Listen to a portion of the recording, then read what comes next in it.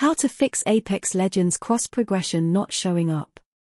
In this video, we'll take a look at some of the most common causes of cross progression issues and provide step-by-step instructions on how to fix them. 1. Sometimes, cross progression may not be available right away, especially during a new season launch. This means you might not get cross progression right away at the season launch. When your account is ready to cross progress, you will see a window when you log into the game. Follow the instructions on these screens and once completed your account will be cross-progressed. This is because the servers may need time to update and sync all the data.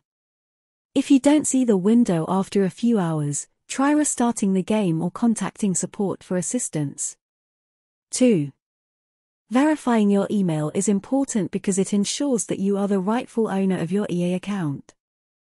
To verify your email, log into your EA account on the EA website and go to the Security tab. If your email is not verified, follow the instructions to verify it.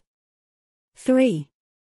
Sometimes, cross-progression issues can be resolved by simply restarting the game.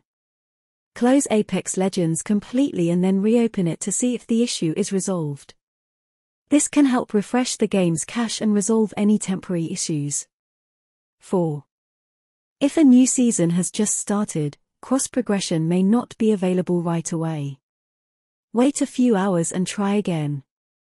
This is because the servers may need time to update and sync all the data. You can also check the Apex Legends server status from its social media site by clicking here. 5. If none of the above steps work, contact the EA support for assistance. You can do this by going to the EA website and selecting Contact Us at the bottom of the page.